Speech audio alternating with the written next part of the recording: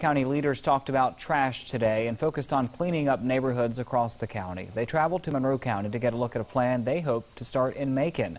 41 NBC's Peyton Lewis went there with them and has more.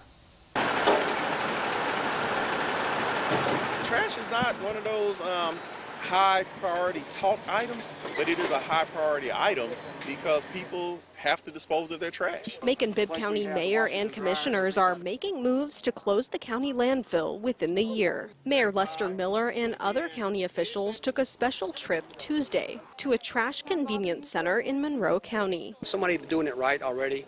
We need to use best practices.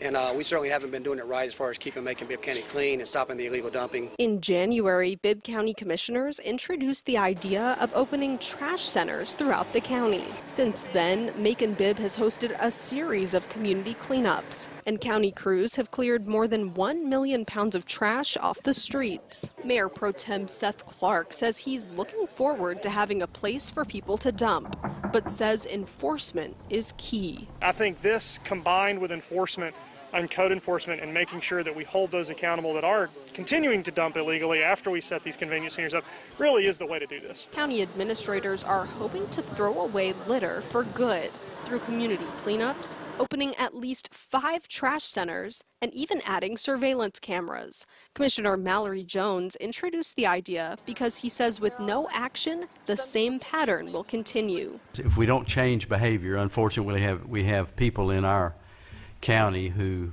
roll down the window and throw it out. Work has already begun here at Bibb County's old animal shelter. Crews expect the project to take about six months and $150,000 to create Bibb County's first convenience center.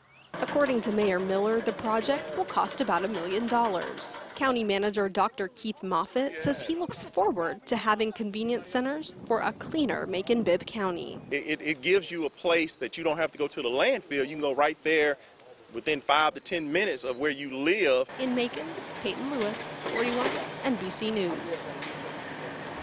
Well, the county hasn't made a final decision on where each center will be and expects the centers to open within the next 12 months though. The landfill will start closing after the first center opens.